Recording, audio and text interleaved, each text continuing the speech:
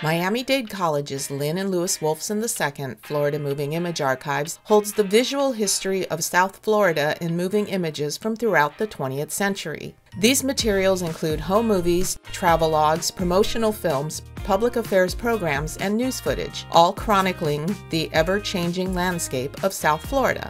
During the land boom of the 1920s, promotional films by real estate developers and amateur filmmakers enticed Northerners to the warmth of South Florida by offering lots of land for low prices. These films show sparsely populated areas that are now dense with residents and businesses.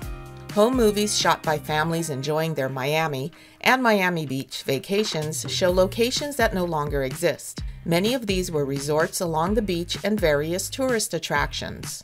In 1962, Miami hit a population of 1 million, prompting WTVJ to take a look back at the Magic City's history with a special FYI episode.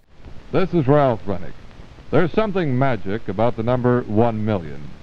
Somehow it means the big time, stability.